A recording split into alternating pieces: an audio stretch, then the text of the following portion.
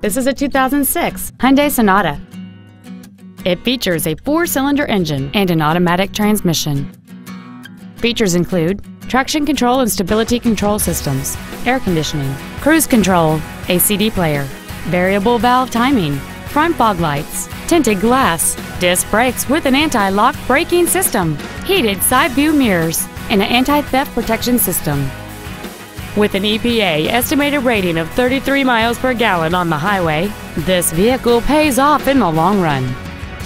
This Hyundai has had only one owner, and it qualifies for the Carfax buyback guarantee. Please call us today for more information on this great vehicle.